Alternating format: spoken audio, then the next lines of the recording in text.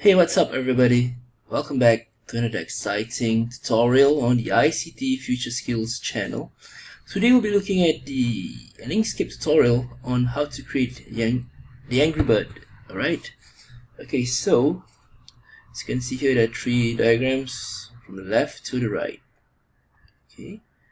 So in this tutorial we'll be covering these topics, the pick tool, the shape tool, settings, view default, duplicate, duplicating objects control D, perfect circle, press control and the ellipse button, color and stroke, transparency and alpha settings, polygon tool, object to path, okay, which will open up path union and path intersect, and also the gradient effect. Okay, it may be quite a bit here, but as you can see later on, it'll be quite easy as we go on. Okay, so your Inkscape software will have these two important tools over here, which is the pick tool and the shape tool. Alright and the shape tool will work very nicely with the object to path. Okay. Now what you can see here alright is um, uh, you can pause the screen later on to take a look at the instructions on how to get from the perfect circle all the way to the angry bird or the happy bird in our case because it's a smiley bird okay? And subsequently you can actually make the other birds based on any other shapes that you want right? So let me jump onto the Inkscape platform right? Okay which I've created here. So I'm just gonna start from scratch alright? So at the beginning of your Inkscape once you activated your Inkscape environment software you have to go to view default. Okay view default so I'm just going to go view default.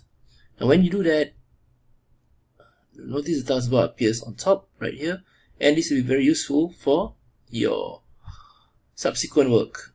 Okay, so first I'm just going to go zoom quickly going to the circle. So I'm just going to press this ellipse tool, alright, and draw a circle.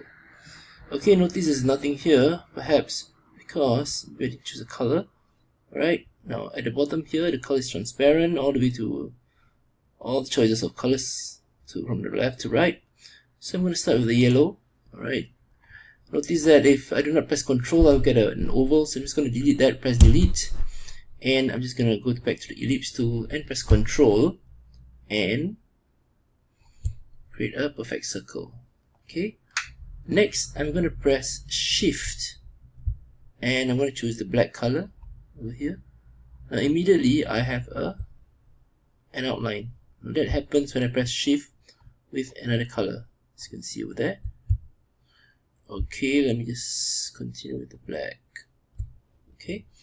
Now at the bottom of the screen as you can see now there's 33.4 perhaps there's going to be a smaller number at the start. So when you click this way down over here you're going to be this panel is going to be activated so by default okay now work with points. Normally I work with 10 points. Okay if it's a bit too small for your picture so maybe you can increase that one. Maybe all the way up to maybe 50 okay depending on the stroke size that will match nicely with your diagram. Okay so I'm just going to go on to make the oval.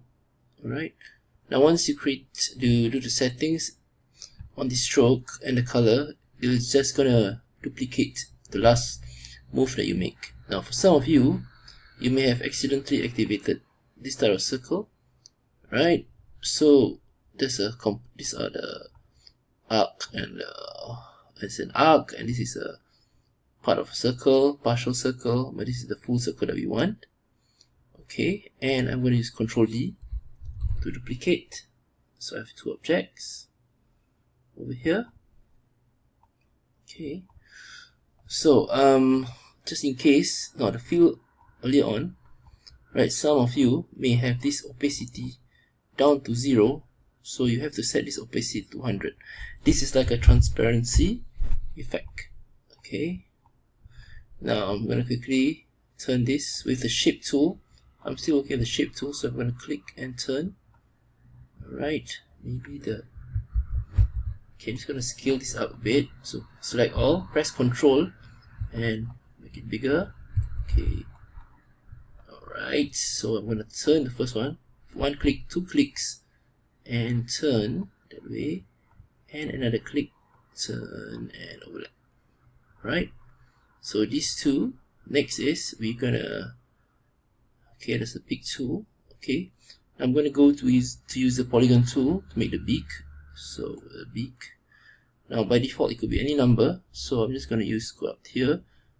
Okay I'm going to choose it to 3 my rounded should be 0 so the triangle will not be there's no rounding effect. Okay 0 it's a sharp beak.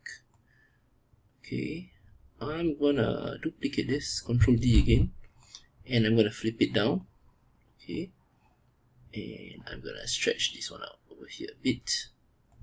Okay notice when you stretch it becomes a bit thicker okay the outline. But that's it's okay. We're gonna reset all the outline to a single value. Okay now the bird doesn't look like smiling. So we can repair that later on okay from an angry bird to a happy bird.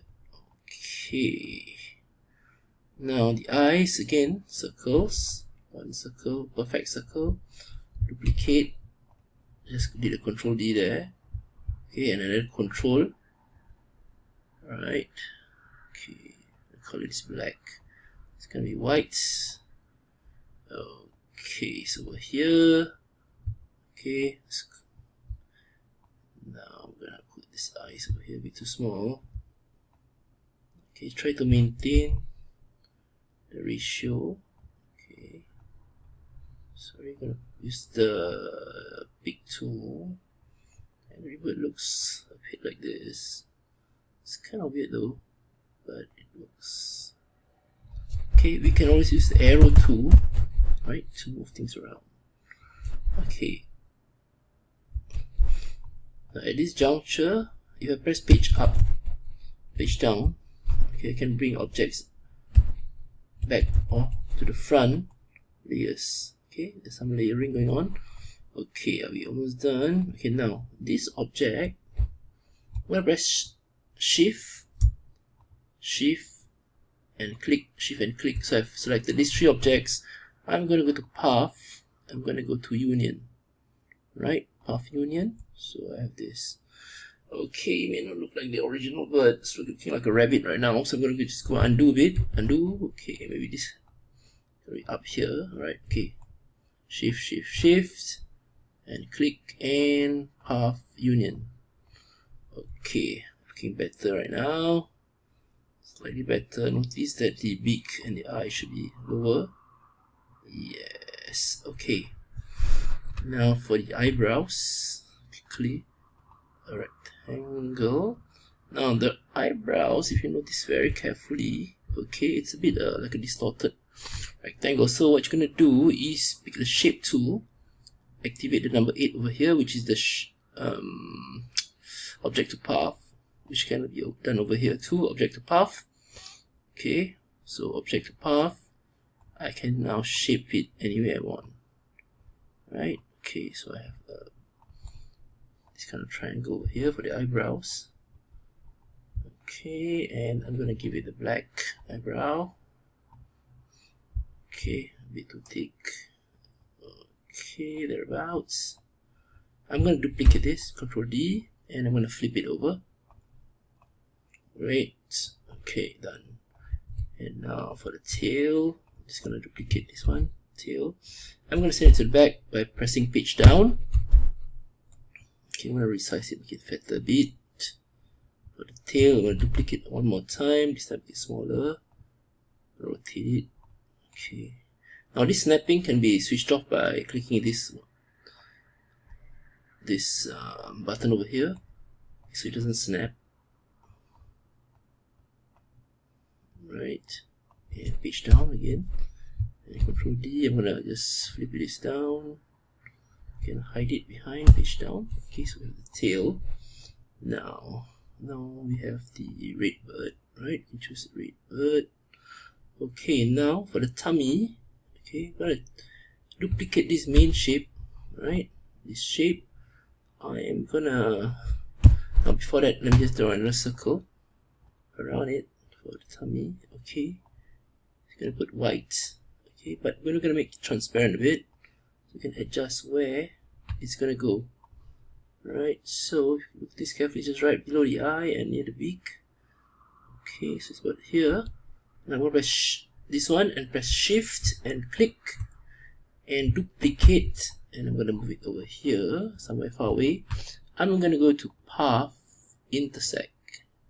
Right so I have this intersect part over here. Right and I'm gonna color this white okay I'm gonna press page down. Okay so I have this. Now I do not want a stroke over here so I'm just gonna choose I'm gonna press shift and transparent of the stroke. Okay I'm gonna push this up a bit. Okay. Alright so I have the bird over there okay okay let's see. I shift the scale this down. Does it work? Perhaps. Okay I'm just gonna go undo control Z. To undo. Okay. Now now as mentioned earlier right we have the strokes are not equal. So I'm just gonna pick the main objects and I'm gonna press stroke again at the bottom here. I'm gonna just point 20 for example. 20 is too small. 50 okay for this case 50 is good. Okay so put this back. And there you have it the angry bird. Now if you use the gradient press G. G for gradient. Is slide it across. Pick a dark color dark red and then pick a light red for the bottom part here. And you have that glowy gradient effect. Okay. So if you want to make a smiley bird just take the rectangle path object to path again. Okay take the shape tool and make the bird smile. Alright so we'll have a happy bird instead. Okay so that's how you get the angry bird done. Alright so so I hope you enjoyed the tutorial and make sure you keep on practicing your Inkscape and